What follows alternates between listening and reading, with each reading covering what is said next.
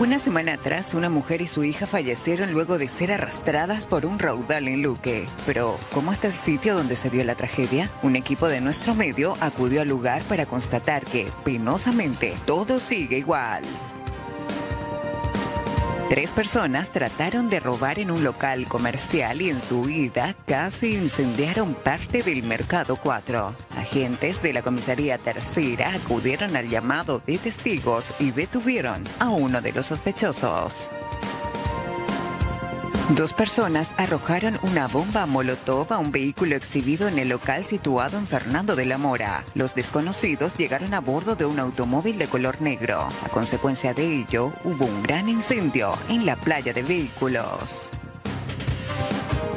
Policía irrumpió en la Universidad de California y rodeó a los estudiantes, pidiendo que abandonaran el lugar y acabaran con la manifestación de apoyo a los jazatíes. Con el correr de las horas, aumenta la tensión en el campus.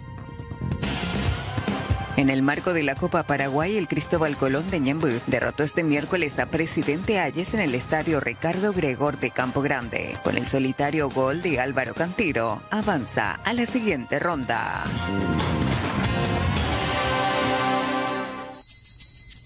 Ahí está, 13 con 8 minutos en la República del Paraguay, 26 grados la temperatura. ¿Cómo están? Muy buenas tardes. Bienvenidos a primera edición en esta jornada de jueves, tiempo inestable. Se viene la lluvia. ¿Cómo Señor, está. Juan? Bien. En alguna zona del país ya está lloviendo. Sí, La zona de Encarnación, el Desde sur. el sur. Ayola, Carmen del Paraná. recién comentaba, no sé si escuchaste, la cantidad de lluvia, más de 145 milímetros esta mañana. 47 en realidad. Y el promedio mensual de este mes en Encarnación es de 145. Ya superó en un solo En día. Un solo día. Imagínense. Que está llegando ahora. Está viniendo por el sur. Dicen que zona sur de Central ya hay, ya se avisora lluvias. ¿eh? Más que nada siempre esta advertencia es por nuestras calles, no por el tema de la lluvia. Uno, lo ideal sería disfrutar de la Claro, lluvia, bonanza, pero ta. no pero hoy lluvia, hoy ves un- una nube, un nubarrón, es sinónimo de tragedia. Imagínate que desde temprano, ante el anuncio de meteorología, la gente de la PMT, de la Policía Municipal de Tránsito, está haciendo ya trabajos en los puntos que son considerados críticos Sí. para que cuando comience la lluvia haya un desvío. Exactamente. Recordar que hoy, hace seis meses de la tragedia en Lambaré, la semana pasada también el caso de madre e hija en Luque que murieron a consecuencia de la cantidad de lluvia que cayó y finalmente arrastradas en un vehículo. Entonces, por favor, tengan mucho cuidado. Si usted sabe en una zona donde se acumula mucha agua y hay mucho raudal, evite. Y si llegó allí, pare, no avance, porque realmente está muy complicado. ¿eh? Realmente, la mayoría de la gente ya conoce las zonas críticas en la zona de Luque, en la zona de Lambaré, en la zona de Fernando de la Mora, algunas partes de Asunción hacia Artigas.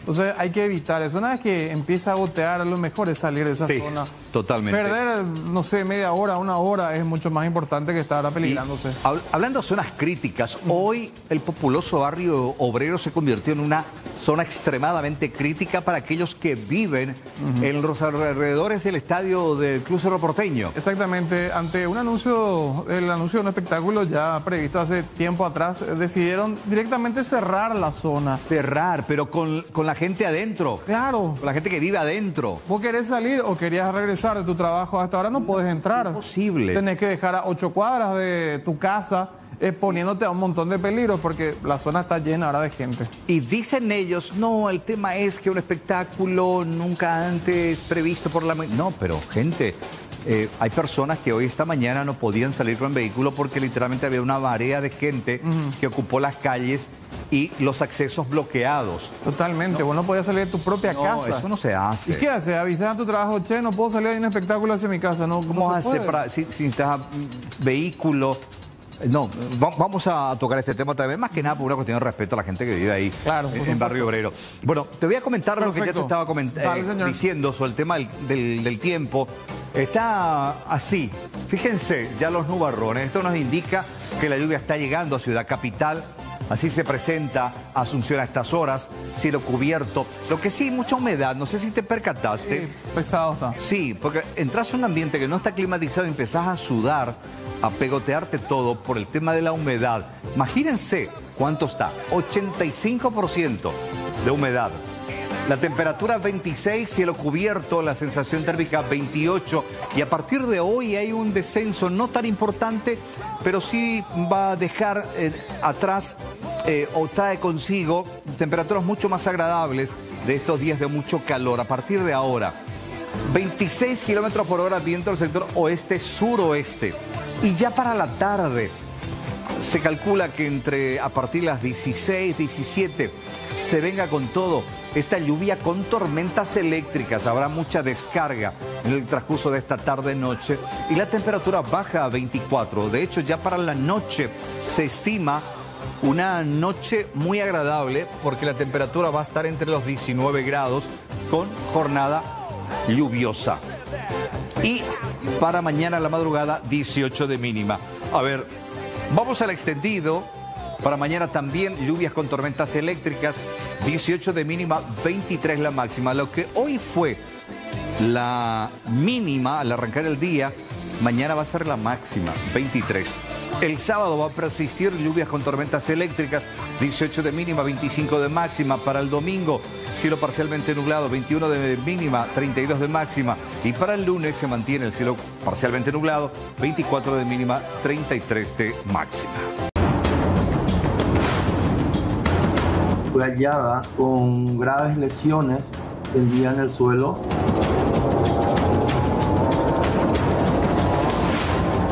Pero por la magnitud de las lesiones la brutalidad, la tentativa de feminicidio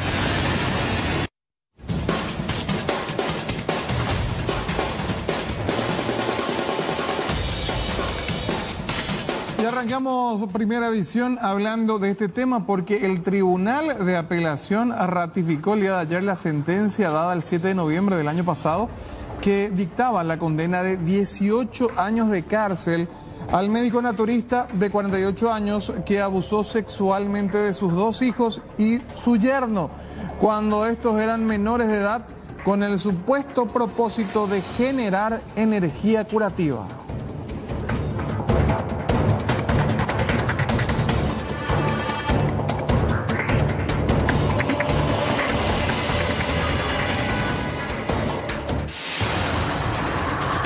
Este producto nosotros hemos detectado su comercialización a través de, de redes sociales, supuestas funciones eh, terapéuticas, lo cual nosotros no eh, recomendamos este producto por lo que no tiene eh, registro sanitario de Dinavisa, desconocemos su composición y alertamos a la población de no consumir este producto en específico. Y en otra información, el nuevo y moderno hospital oncológico de la Fundación Lazos del Sur, ubicado en el centro de la ciudad de Encarnación, será inaugurado oficialmente el próximo 10 de mayo, acontecimiento que marcará un hito significativo en la atención integral a los pacientes con cáncer, principalmente a los cientos de pacientes en el departamento de Itapúa. Tanto el terreno como la construcción del moderno edificio del centro asistencial fue donado por la Fundación Carlos y Miriam de Carlos Espínola y Miriam Harms y está ubicado sobre la calle Independencia Nacional y Doctor Bojanovich del barrio Bernardino Caballero. Cabe destacar que el hospital oncológico nació del voluntariado y funciona en el barrio Chaipés de Encarnación desde hace ocho años.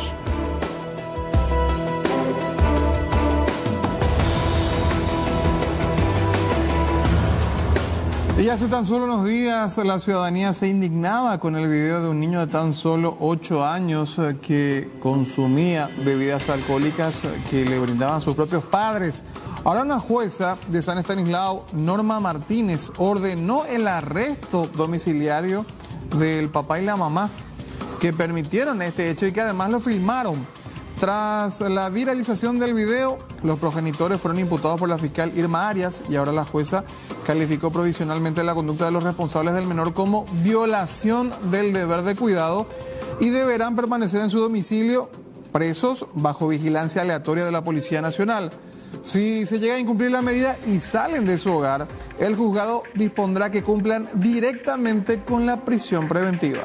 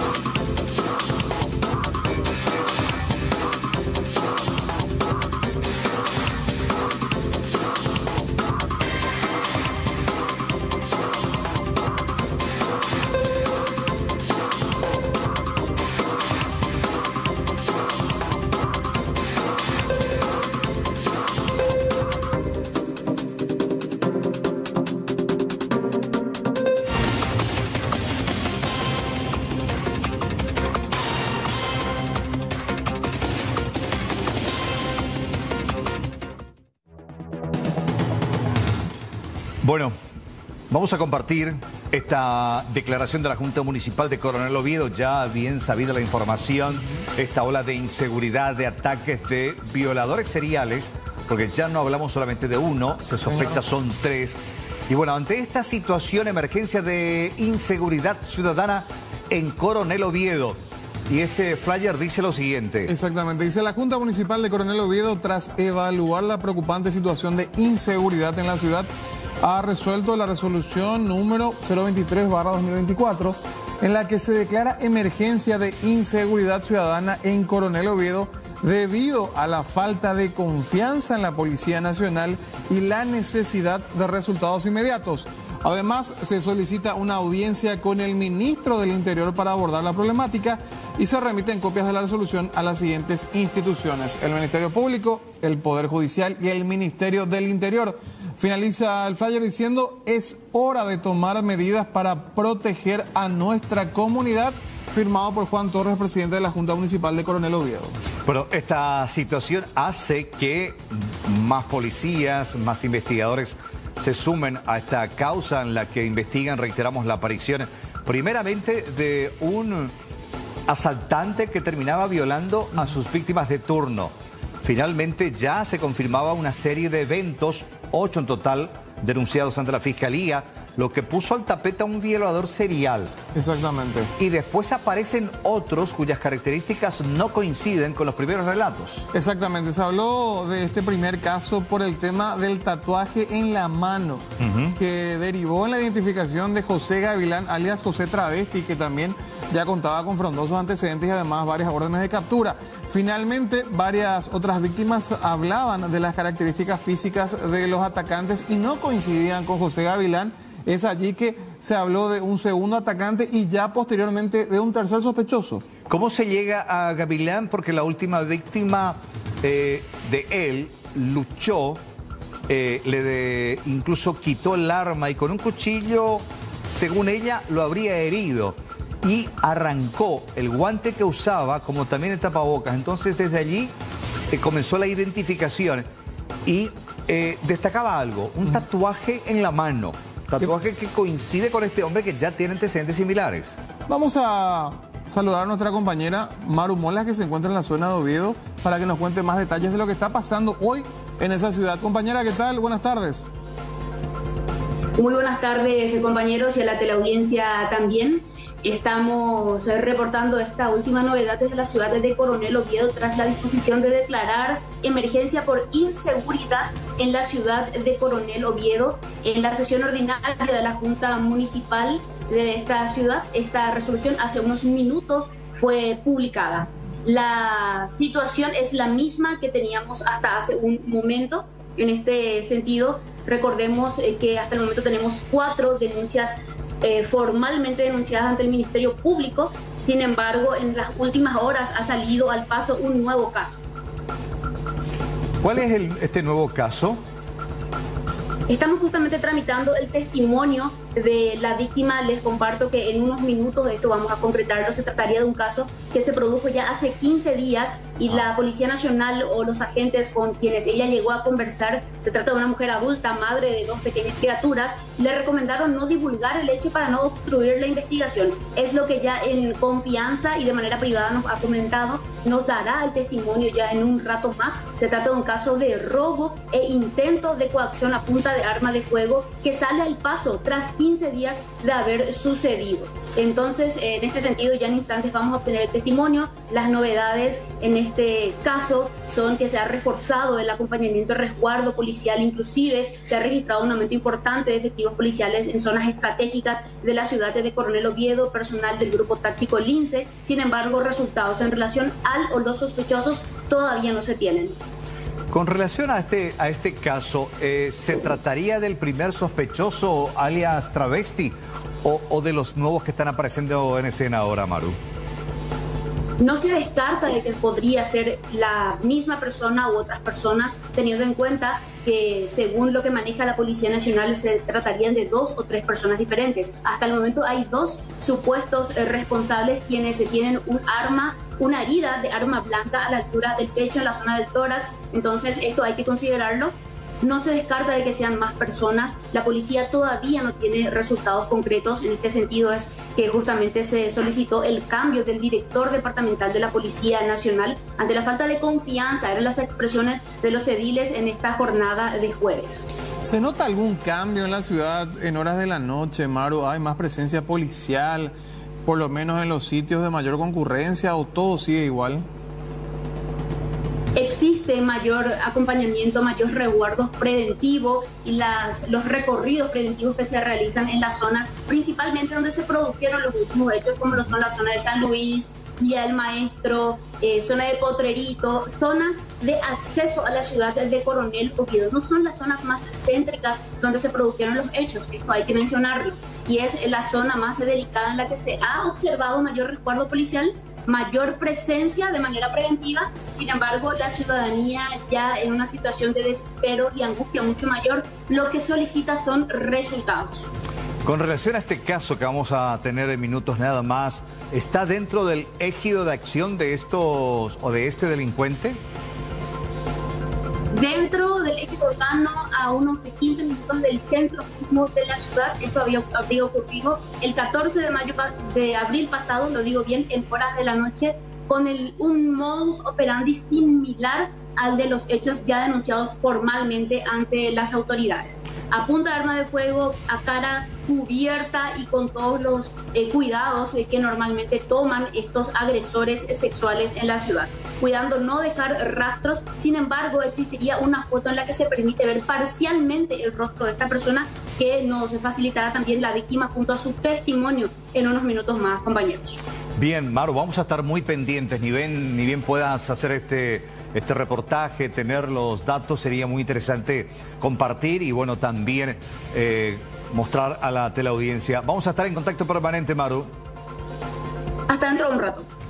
Perfecto, vamos a volver en instantes desde Coronel Oviedo en vivo con nuestra colega, quien en este momento va a charlar con esta víctima, que no es de las recientes. No de hace 15 días y que se, se anima ahora a contar su historia. y que ya había hablado con la policía que por una cuestión de, procedimiento le habían pedido mantener en reserva este relato. Y la duda que existe, ¿cuántos casos más de este tipo? Claro, con esto se sumarían nueve oficialmente, pero siempre hablamos de que hay, eh, hay una estadística en negro aquellas personas que por una cuestión de pudor, de reserva, de temor, de vergüenza, no se animan a denunciar, callan el caso eh, y que muchas veces también dice, ¿para qué voy a denunciar? Si no, va a no, va a pasar nada. Entonces, eh, es importante animar a las víctimas a sumar más causas y no se descarta de que habrían más mujeres eh, víctimas, víctimas donde se consumó el hecho o en el caso como el que vamos a, escuchar, que fue, quedó en el, en el intento. Pero sí hubo robo y finalmente eh, los o el delincuente terminaba intentando abusar de su víctima. Esos minutos.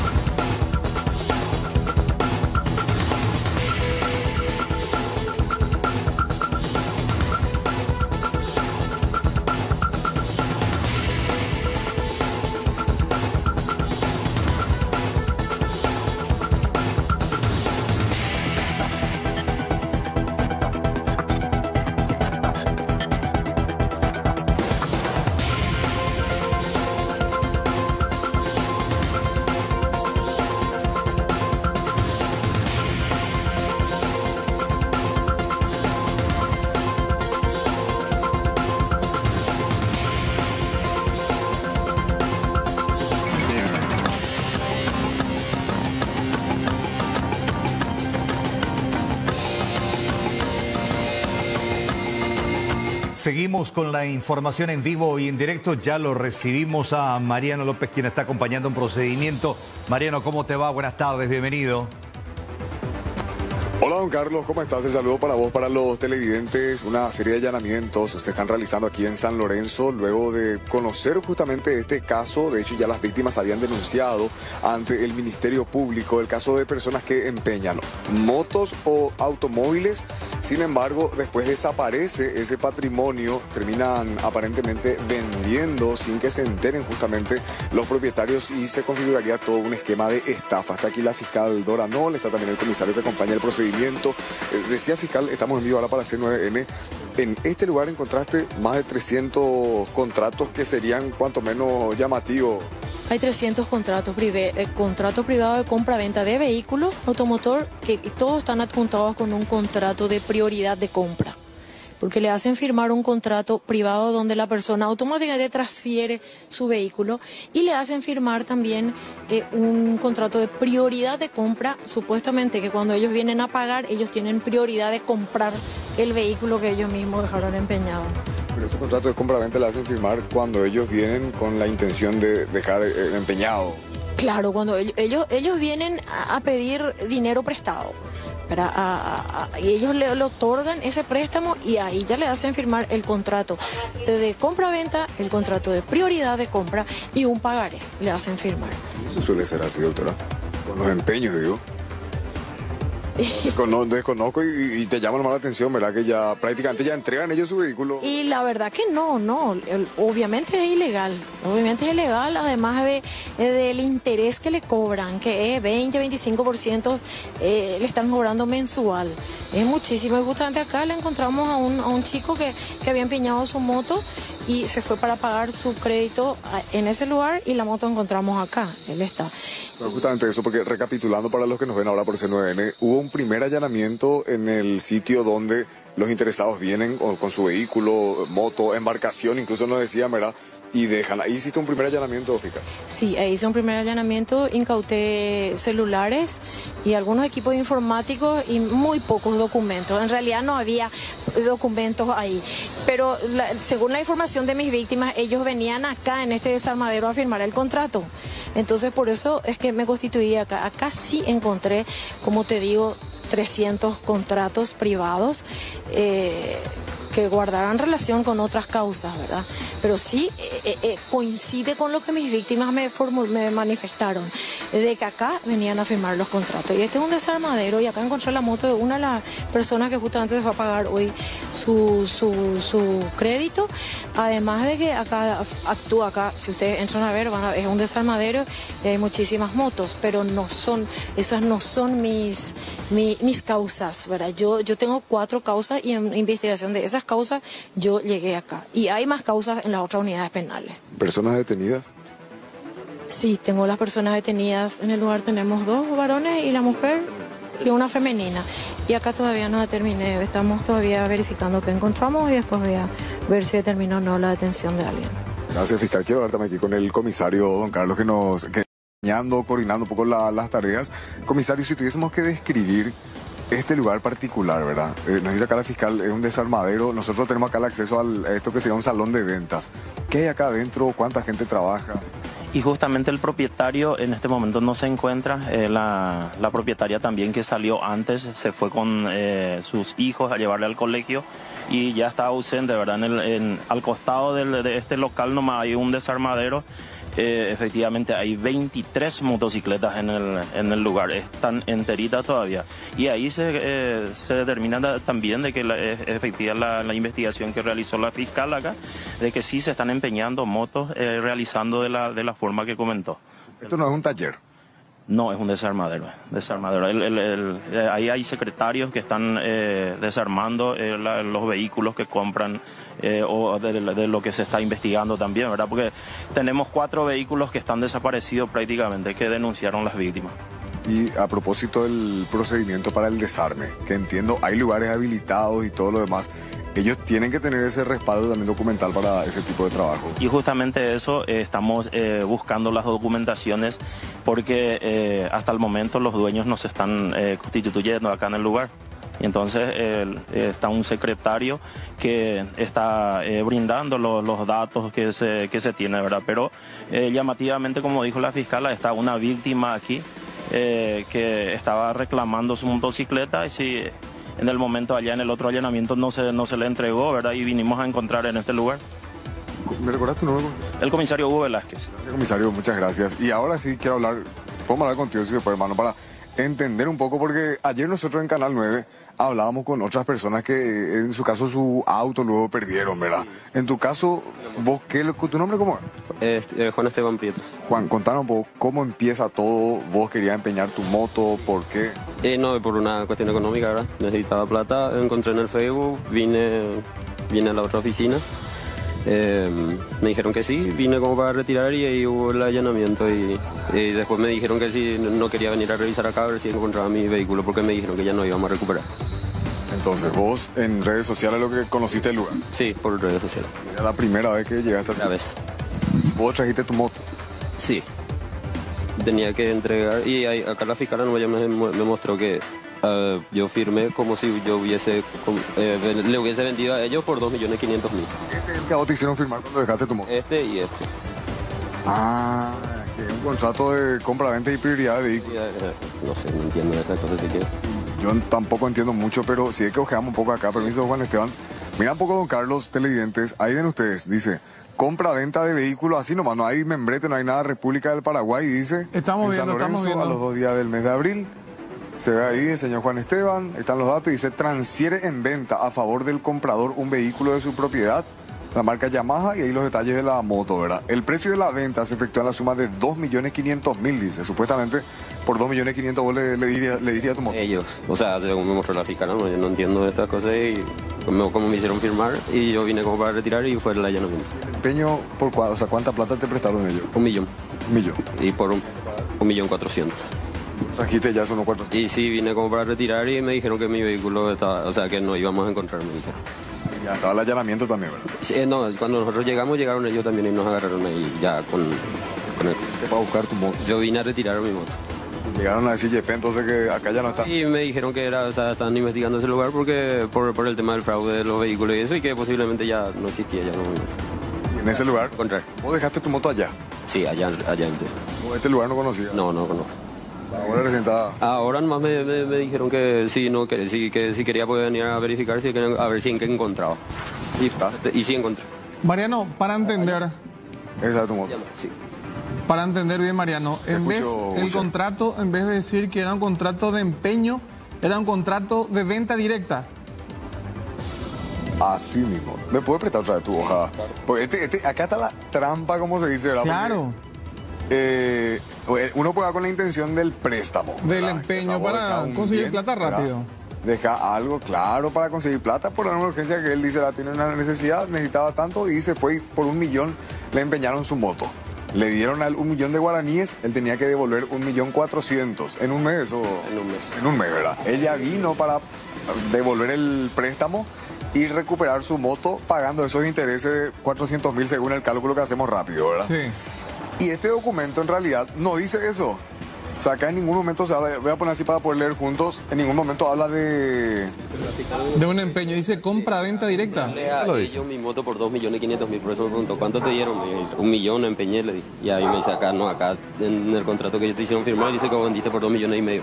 ¿Tu moto cuánto por ahí cuesta? Eh, va a estar por ahí. 2 millones y medio, 3 millones, por ahí. Eh, tal. Y acá dice, mira, en la cláusula segunda, ¿verdad? El precio de la presente venta efectúa la suma de 2.500.000 guaraníes que el vendedor declara haber recibido íntegramente de mano del comprador. Eh, el, comprador es Eliana Martínez y vendedor es Juan Esteban Prieto. Después dice que se hace entrega del material del vehículo al comprador que recibe las condiciones mecánicas que se encuentra actualmente a su entera satisfacción y dice que quedando a cargo del comprador toda responsabilidad civil o penal por daños o perjuicios. Después dice en la quinta, el comprador acepta las mecánicas del vehículo en prueba de conformidad y aceptación de términos. O sea, es un contrato de compra-venta de vehículo, pero no está, ¿cómo es que se dice? Autenticado por escribanía, nada de eso.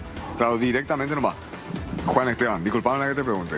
Pero vos te, te, pusieron así sobre el escritorio y te dijeron firmar acá. Muchísimo. Había como cuatro o cinco papeles y me dijeron que era necesario porque no podían poner que era un empeño. Firmar todos esos papeles. Eh, fueron como cuatro o cinco papeles y que yo iba, yo, yo iba a traer este, o sea, iba a tener este para poder volver a retirar. Ah, voy a tener el contrato. Sí, no, y ese, yo, te- eh, ese estaba en mi poder. Y ellos dejaron supuestamente la, la copia ahí. Sí, porque imagínate que al final le prestaron millón. original, don Carlos. Figura que vendió por dos y medio. Y tenía que devolver 1.400 y al final le dicen, no, esa moto ya no es tuya, vos ya la vendiste. Claro, porque lo que firmó realmente es una transferencia, una sesión. Por un monto ínfimo, encima dos millones y medio de guaraníes. Y la moto está ahí, no sé si está completa, está desarmada. No, está ahí completa enfrente. ¿Está completa tu moto? Sí, en mi moto, pero... ah, Tocaron nada. eh, no, me, me- me dijeron que ya, ta- ya trajeron acá, pero para meter adentro me dijeron. Estaba a punto. Y sí. Ahora el tema es que quiero recuperar, pero ahora no sé por qué no encuentran los documentos y van a llegar incautados. Y justamente, además del- de la moto, ¿vos qué más le entregaste a ellos? Eh, los documentos y la llave. Cédula verde. Sí, cédula verde habilitación. Ahí te. Vamos a mirar un poco acá algo. Gracias, hermano. Sí, disculpanos la molestia. Quiero mirar nomás acá algo. Está por acá la sería, fiscal. sería muy interesante pedirle a la fiscal mirando, cuál es la tipificación penal. Ahí está la, la doctora Dora Arnold. Vamos a ver las motos. Ah, ok.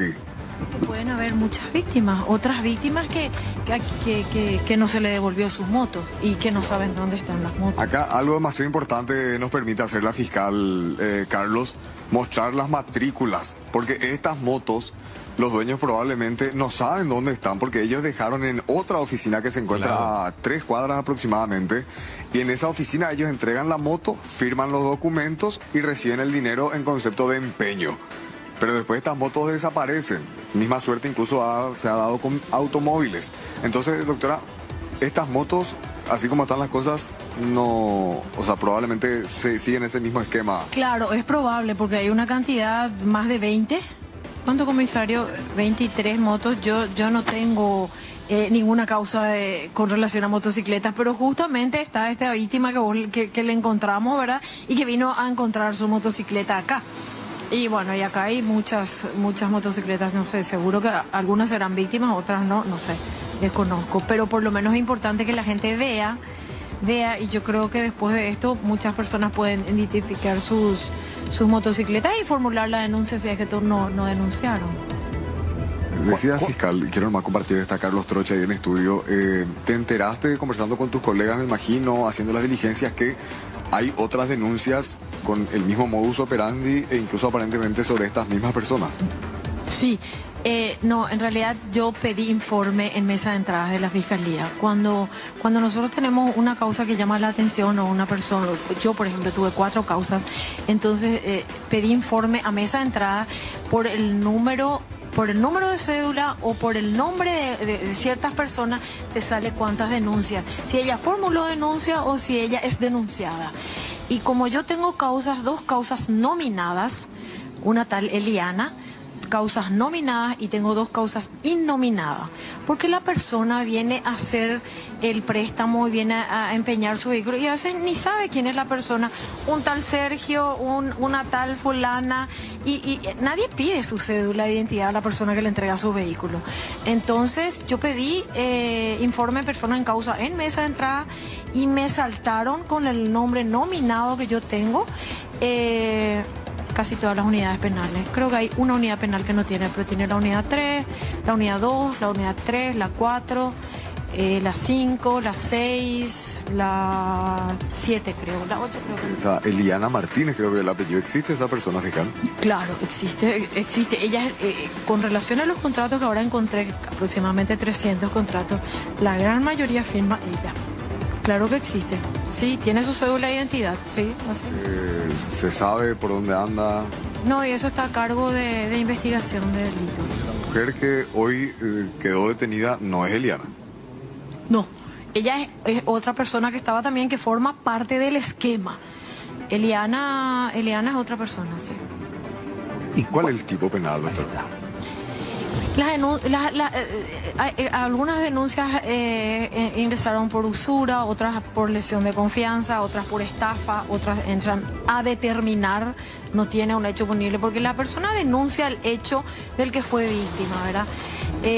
Para mí realmente se encuadraría dentro de una usura por, por el interés excesivo que cobran y también una estafa. Tengo que ver de poder encuadrarlo dentro de la estafa eh, porque es un esquema muy grande. Al, al sacarle el- prácticamente el, el móvil a la gente también Se apropian también, ¿verdad? Pero entonces ya entra, eso ya entra dentro de la estafa. Pero algún, hay algunas personas denunciaron también apropiación porque no, no, no, no lograron recuperar su vehículo, entonces hacen una denuncia por apropiación. por diferentes hechos punibles ingresaron las causas. Saben, nomás, doctora, te planteo esta pregunta.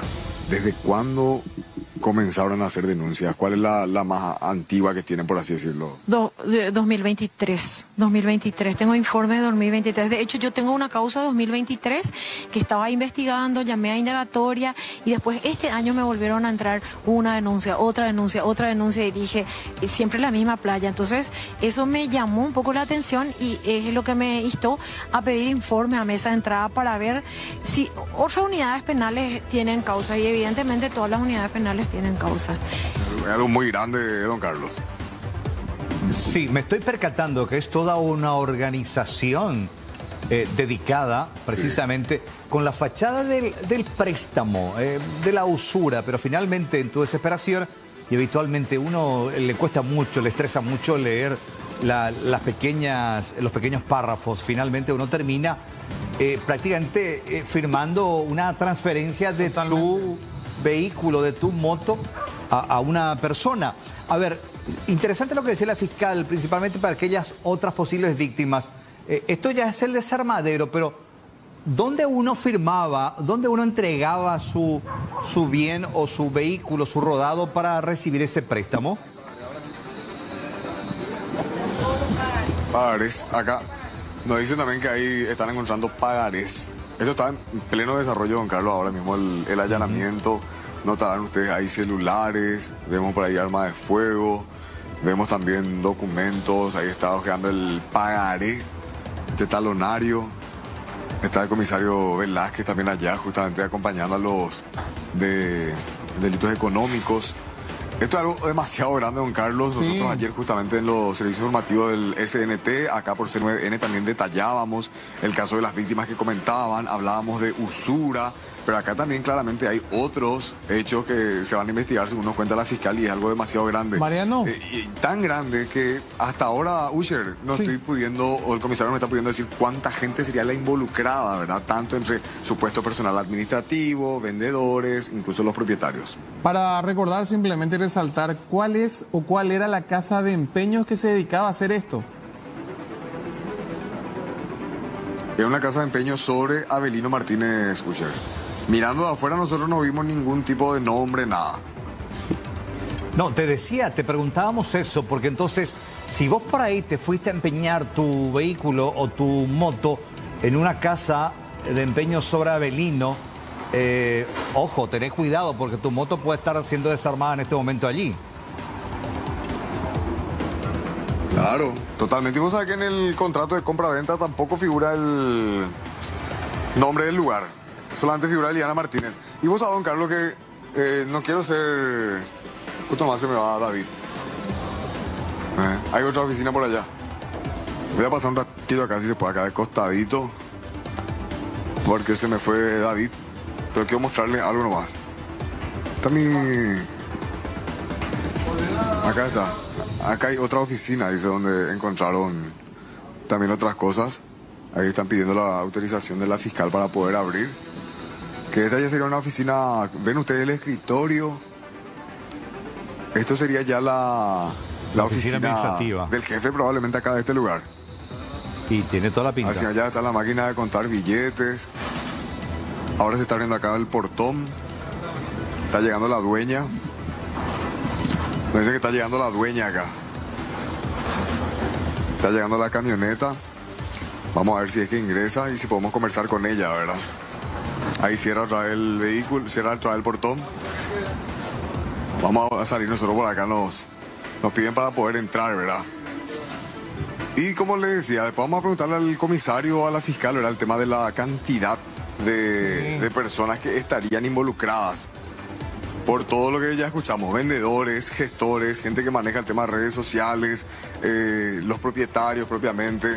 Hay que también saber si es solo una misma casa de empeños o son varias que se dedican a lo mismo con los mismos dueños. Porque la fiscal decía al comienzo de la transmisión de que hay 300 contratos, Carlos. Son 300 personas que entregaron. Que pudieron haber sido víctimas. No sabemos si se concretó, si se les devolvió otra vez sus Vos sabés que yo, rodados. Carlos, esto es lo que te quería mostrar hace rato. Entré A ver. acá al Facebook, ¿viste? Marketplace, donde se ofrecen Sí. cosas, se venden productos y todo lo demás, ¿verdad? Ahí no sé si se distingue bien. Sí, sí, sí, se ve. Mira, yo puse nomás empeño de moto, puse, ¿verdad? Porque viste que acá nos cuenta Juan Esteban que él puso empeño de moto y así encontró lugares. Yo pongo acá empeño de moto y me salen muchísimas opciones, número de teléfono, contacto, préstamo. Todo, muchísima, o sea, la, la- la oferta, ¿cómo se dice? Sí. Vos poner empeño de moto y te salen muchísimas opciones. Bueno, va- va- vamos a esperar.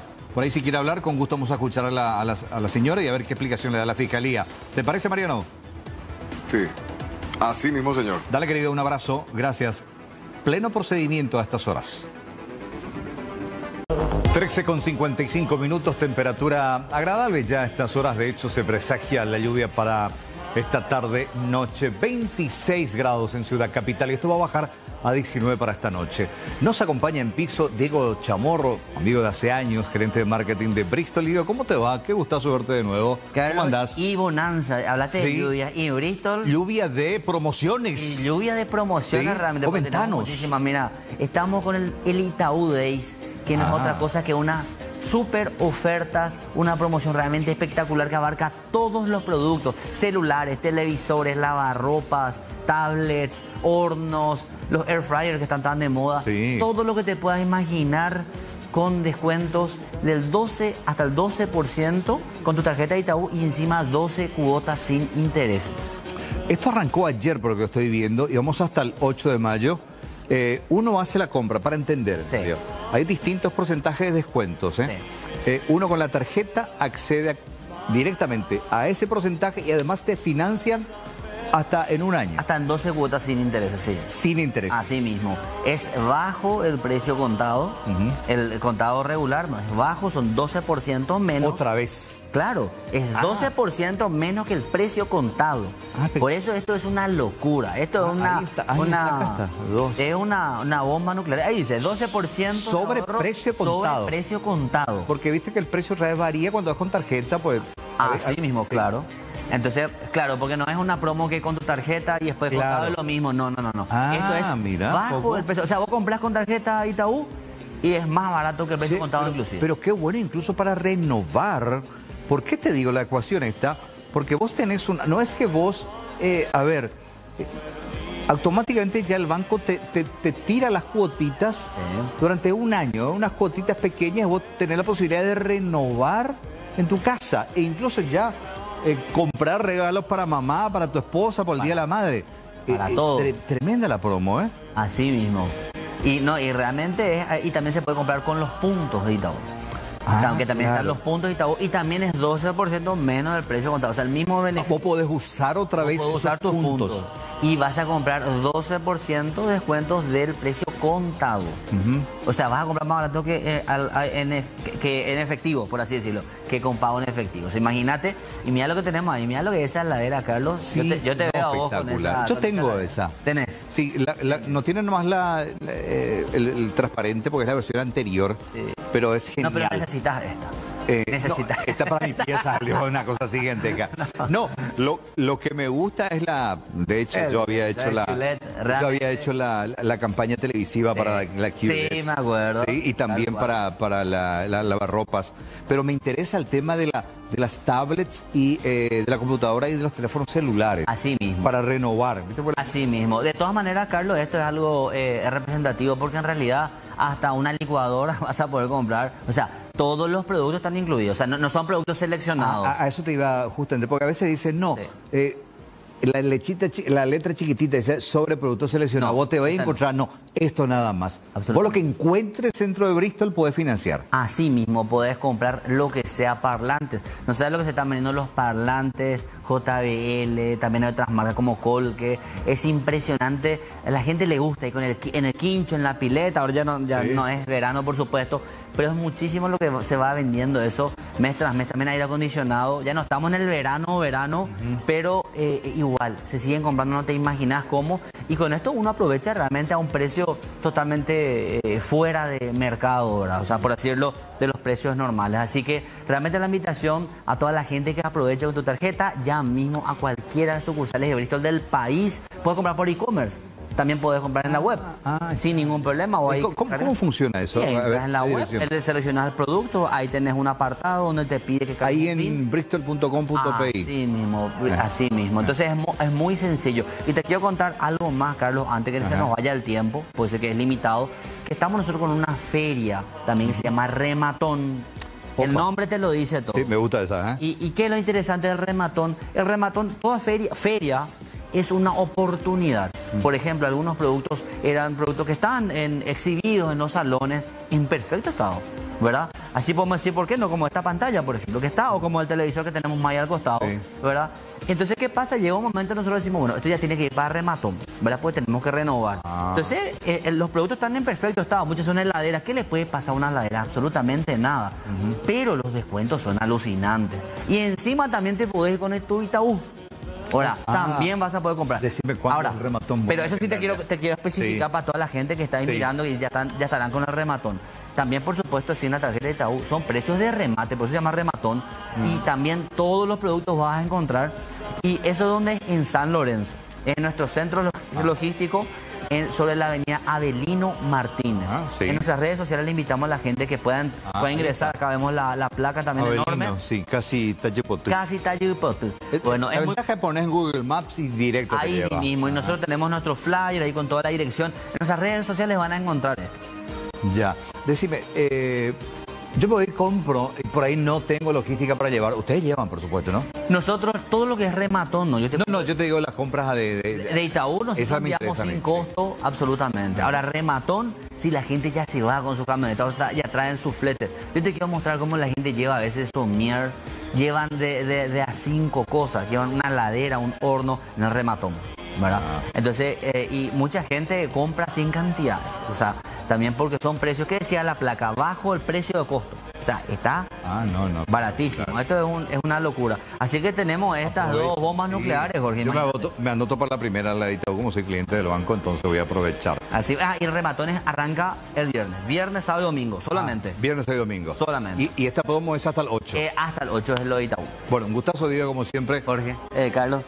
No importa, yo ahora mismo cualquier nombre. Me encanta porque te voy a llamar y voy a, visitarles ahí. Claro que sí. Bueno, ya venimos con los títulos.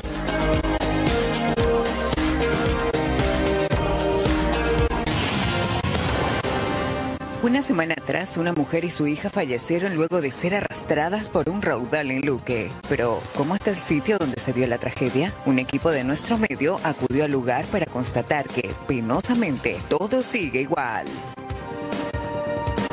Tres personas trataron de robar en un local comercial y en su huida casi incendiaron parte del Mercado 4. Agentes de la comisaría tercera acudieron al llamado de testigos y detuvieron a uno de los sospechosos.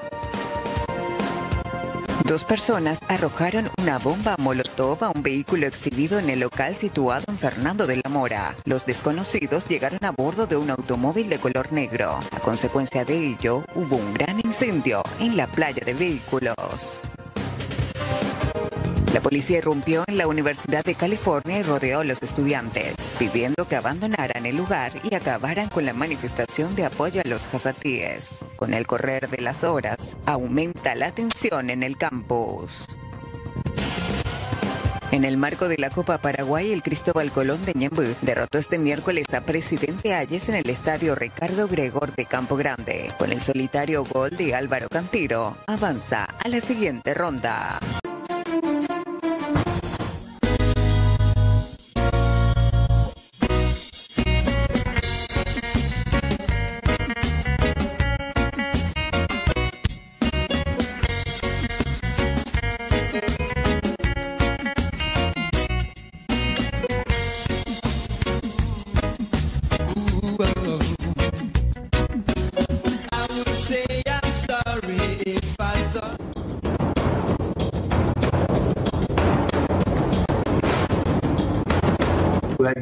Con graves lesiones tendida en el suelo.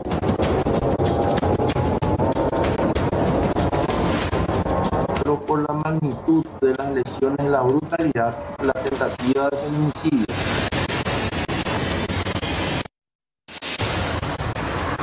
Este producto nosotros hemos detectado su comercialización a través de redes sociales, supuestas funciones eh, terapéuticas, lo cual nosotros no eh, recomendamos este producto por lo que no tiene eh, registro sanitario de Dinavisa, desconocemos su composición y alertamos a la población de no consumir este producto en.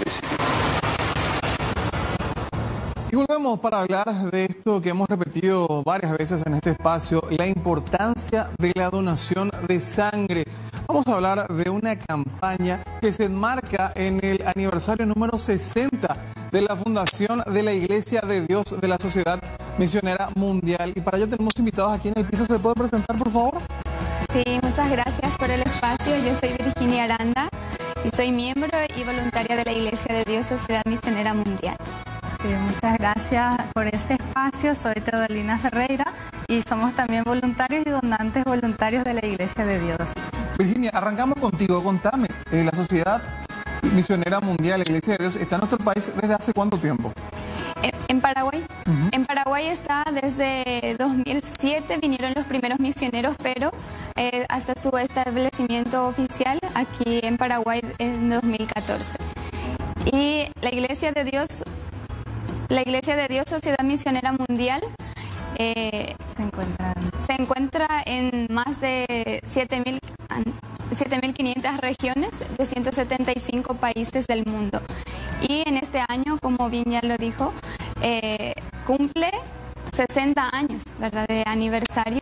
Por eso la Iglesia de Dios Sociedad Misionera Mundial considera que una forma de compartir el amor de Cristo que hemos recibido es donando sangre. Por eso, para conmemorar el sexagésimo aniversario de la Iglesia de Dios, hemos acordado todos los miembros de la Iglesia de Dios eh, de hacer la campaña de donación de sangre para la vida con el amor de la Pascua en todo el mundo. Para, así como Cristo hace dos mil años vino y nos dio la vida eterna a la humanidad mortal por medio de su carne y su sangre, estableciendo la Pascua del nuevo pacto, nosotros también hemos seguido este mismo ejemplo y vamos a realizar esta campaña de donación de sangre deseando que así como una gota de nuestra sangre puede convertirse en una gran esperanza para las personas que están en peligro de perder su vida por la falta de sangre, también todos puedan recibir la sangre de Cristo celebrando la Pascua del nuevo pacto para tener la esperanza celestial. Perfecto, Virginia. Teodolina, contame, ¿cuándo comienza esta campaña? ¿Dónde va a ser y quiénes pueden ir? Sí, este domingo es la cita, eh, 5 de mayo. Vamos a hacer en la sede de, de San Lorenzo de la iglesia. Está sobre Teniente Benítez 264 entre Hernandarias y Marcelina Isfrán. En este lugar se va a llevar a cabo la donación de sangre. Eh, nosotros esperamos que no solo los miembros participen, sino también ellos vendrán con sus familiares, amigos, vecinos. Y por eso también estamos muy agradecidos con ustedes que nos dieran este espacio para invitar a toda la ciudadanía. Todos pueden acercarse, ¿verdad? Nosotros eh, quizás puedan pensar que es muy difícil o duele, nada de eso. Esto se hace para poder ayudar a los pacientes que están en riesgo de perder la vida, ¿verdad? Eh, sea por accidentes, sea por enfermedades y también sobre todo para quitar el prejuicio, el prejuicio social o cultural o a veces personal eh, en relación a la donación de sangre. Y de esa manera la gente quitándose ese prejuicio pueda participar en esta campaña de salvar vidas. Perfecto, Teodolina. Vamos a finalizar entonces recordando el horario. Este domingo, Sí, este domingo va a ser eh, de 9 a 12 en San Lorenzo, como ya dije, y esperamos que todos teniendo el corazón de una madre, ¿verdad? Porque nuestra iglesia cree no solo en Dios Padre, también en Dios Madre, y teniendo el corazón de la madre que siempre se preocupa por los demás, es que acordamos llevar a cabo esta campaña de donación de sangre. Así que les esperamos también y esperamos que todos puedan participar para que de esa manera podamos llevar una gota de esperanza de nuestra sangre a los pacientes que están en riesgo de perder la vida. perfecto, Teodolina. Virginia, muchísimas muchísimas gracias por venir aquí a Piso en primera edición para contarnos acerca de esta campaña. Sabemos que la gente se va a acercar hasta la sede de San Lorenzo para participar y también mostrar su solidaridad con aquellos que están enfermos. Muchas gracias. Muchas gracias por el espacio y vamos a estar esperando también el domingo. Perfecto. Seguimos con más información aquí en primera edición.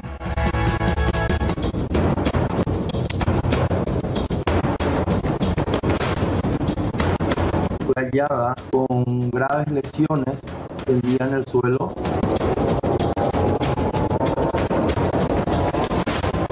Pero por la magnitud de las lesiones, la brutalidad, la tentativa de feminicidio.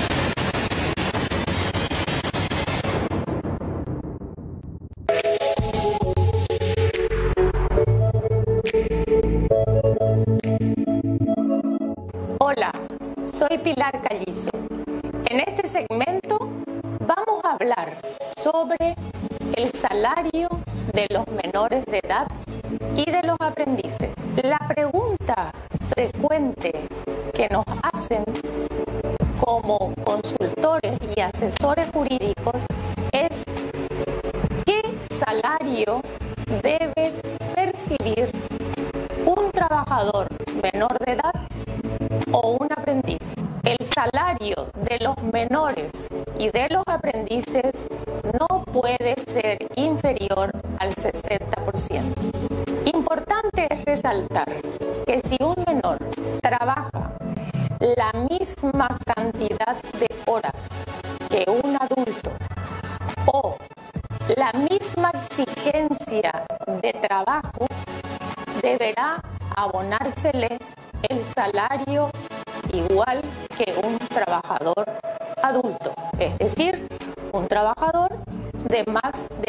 18 años. Igualmente, es importante resaltar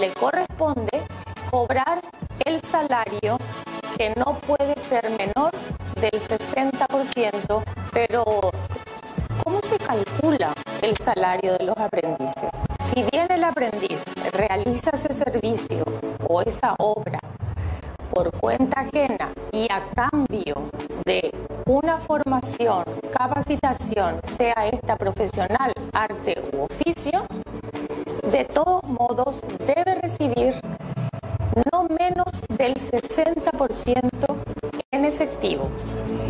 Este aprendiz debe estar asegurado al Instituto de Previsión Social. Si bien en el Código del Trabajo se encuentra regulado el salario que deben percibir los menores y los aprendices, ambos contratos especiales se encuentran en leyes especiales.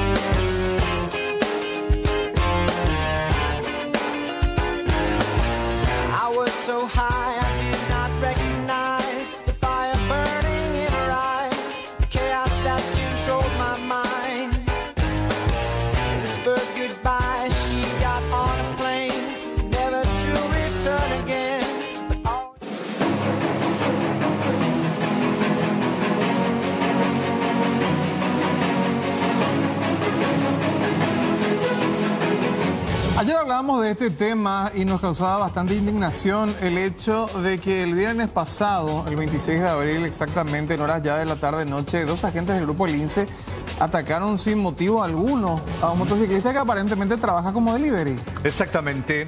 Eh, ocurría esto en la ruta que une Luque Limpio. Incluso hubo intervención de vecinos. Esto fue largo, el inicio de algo que no se entendía muy bien, porque si había una causa o alguna responsabilidad por parte de este joven iba a terminar la comisaría.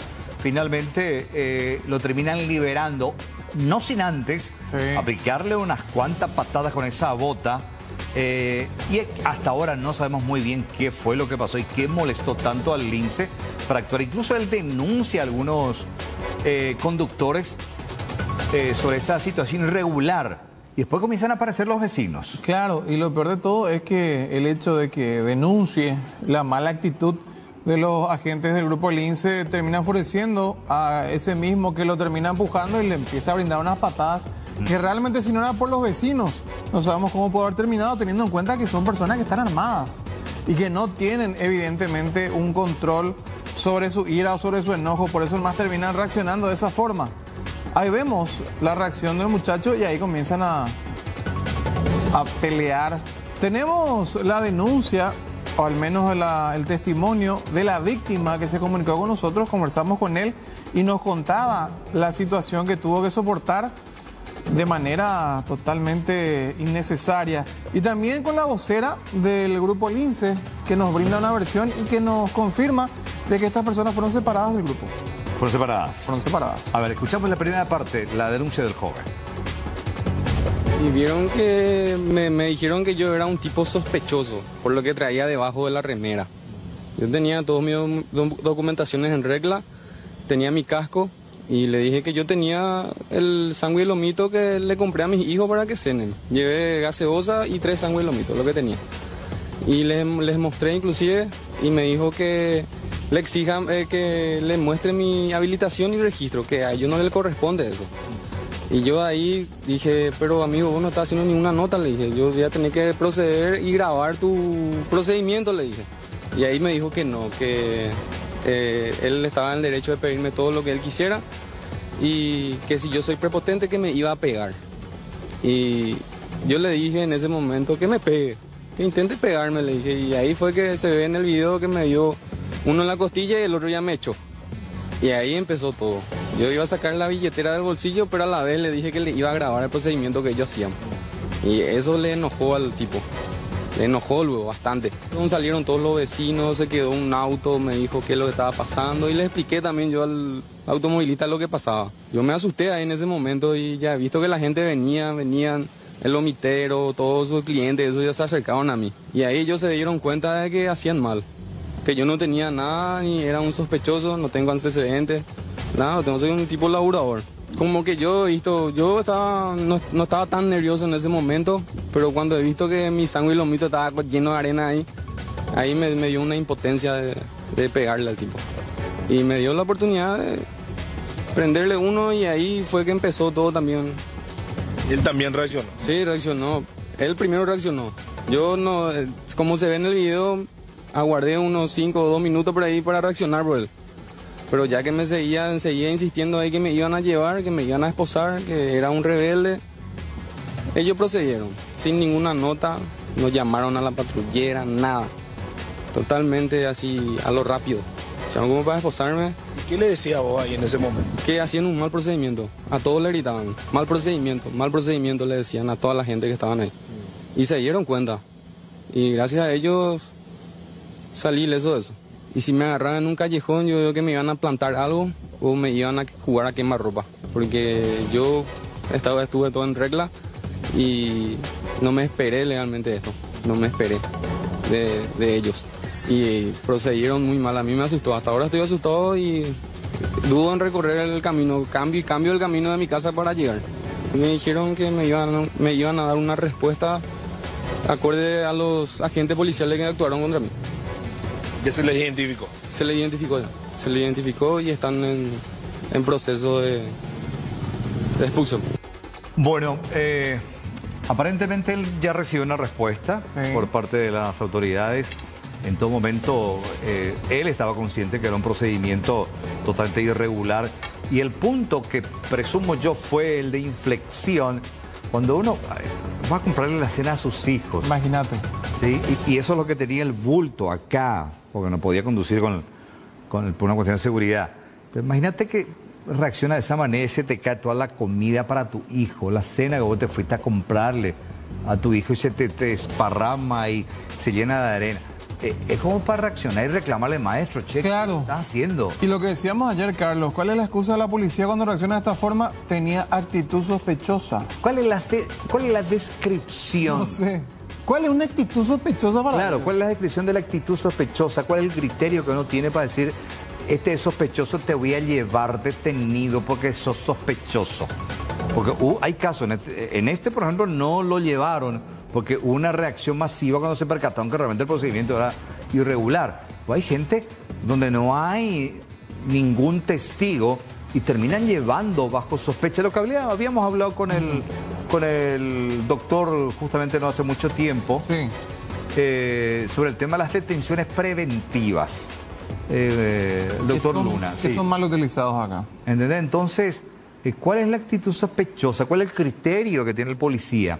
Eh, bueno, hablamos con la vocera del grupo. Lince sobre este tema en particular y esto nos respondió.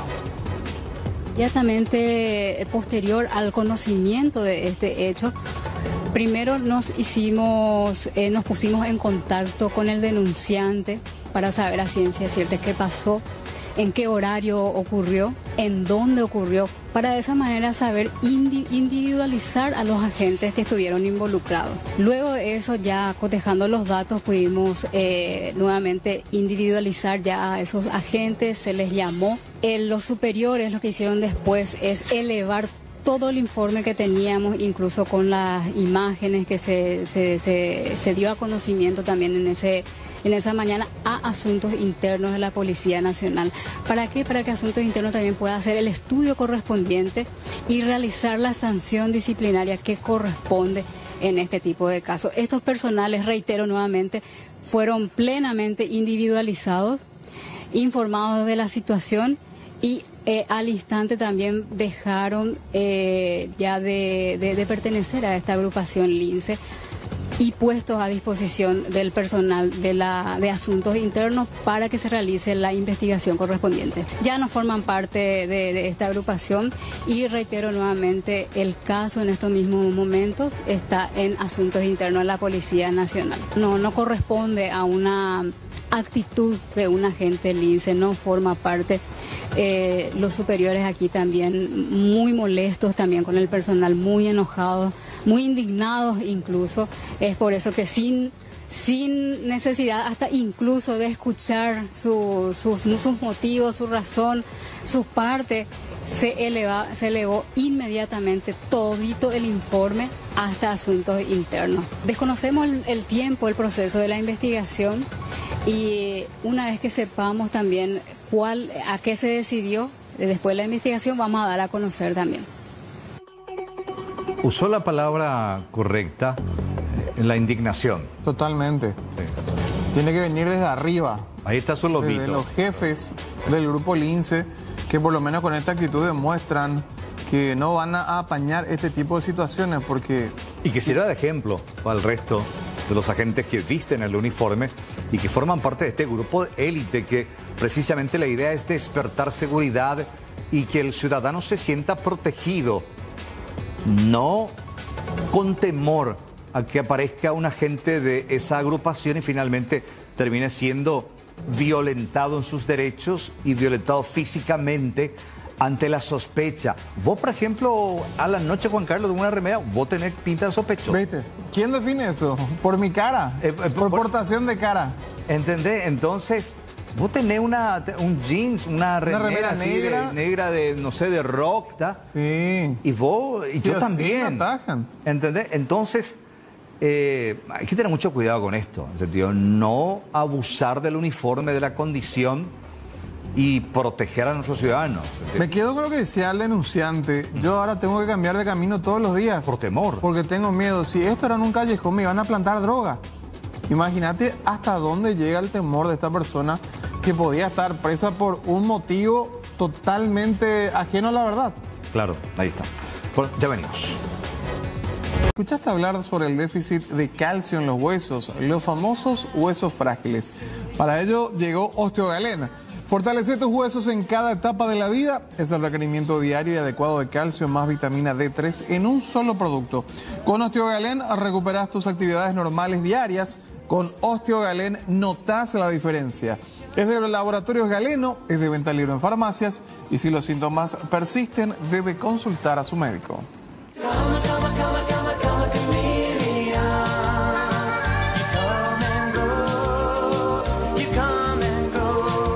Comenzá el mes de mamá, escucha bien, con 3.200 millones de guaraníes en premios. La decisión de poder cambiar tu vida está en tus manos. 50 premios en efectivo, 5 juegos de dormitorio, 2 Peugeot 208, una Chevrolet Montana 0 kilómetro, 150 millones cash, una exclusiva Toyota BZ4X 100% eléctrica, un premio misterioso, un Audi Q2 0 kilómetro y 1.600 millones de guaraníes. Y CRT, con 20 años, el poder de cambiar se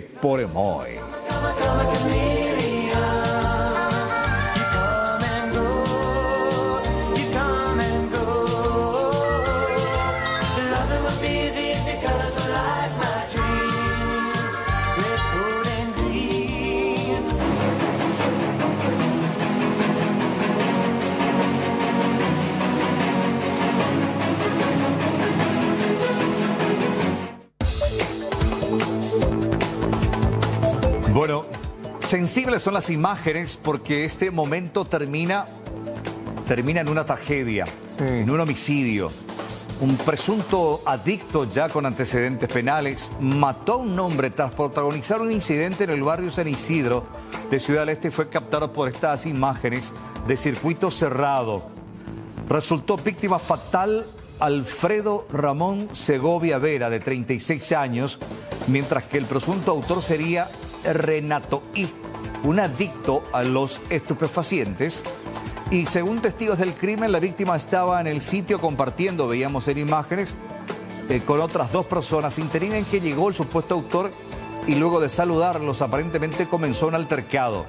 La discusión subió de tono y en un momento Renato I extrajo un cuchillo de su cintura y aplicó una mortal estocada en el abdomen de la víctima la agresión captada por cámaras y finalmente el deceso se dio en un hospital donde no resistió esta estocada mortal, Juan Carlos. Terribles son las imágenes, Carlos, el momento en el que se inicia esta discusión y automáticamente él saca un cuchillo de su pantalón y le aplica una puñalada que habrá sido tremendamente dolorosa en el tiempo en el que él se desangraba sentía la angustia justamente del dolor y llegar al hospital para finalmente fallecer.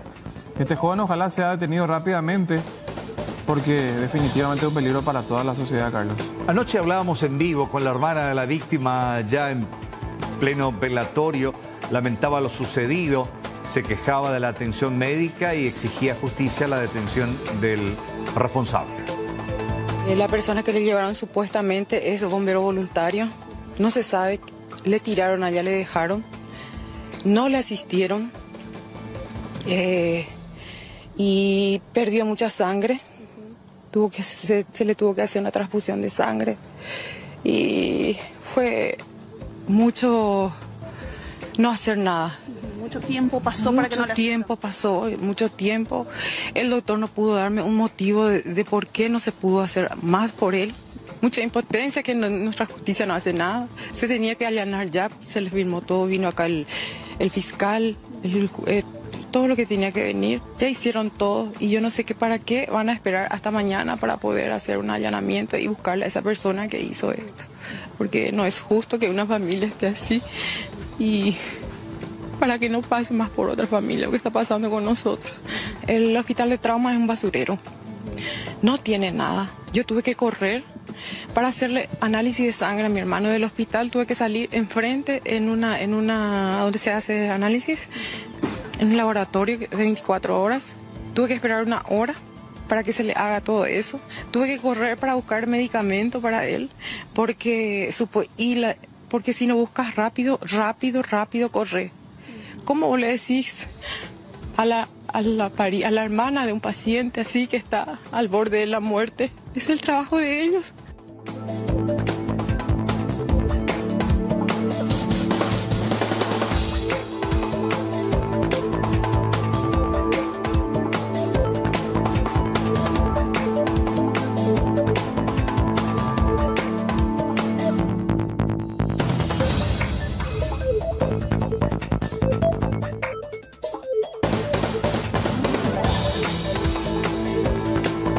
Desde anoche movilizó a la Fiscalía, también a la policía, quienes realizaron sendos operativos. Finalmente hubo resultados.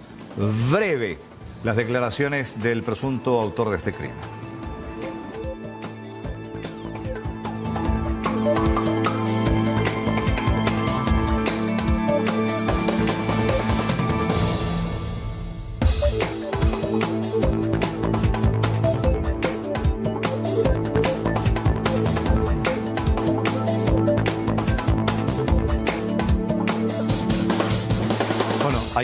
Eh, ya detenido el presunto autor. Él acaba de salir hace días nada más de la cárcel con antecedentes, adicto conocido, y estaba bien armado. Y se nota la... Fíjate cómo empuña.